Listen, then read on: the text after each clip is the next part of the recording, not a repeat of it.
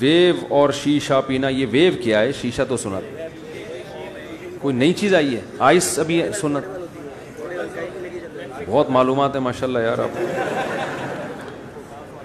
Without alcohol मैं wave पीता हूँ दो साल से, और ना इससे आगे गया हूँ, ना जाऊँगा।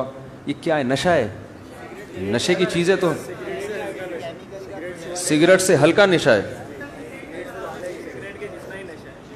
भाई, अगर सिगरेट से ऊपर की चीज़ है तो हराम है, सिगरेट से कम दर्जे की चीज़ है तो मकरू है। कम तो नहीं होगी, नई चीज़ कम नहीं आती मार्केट में।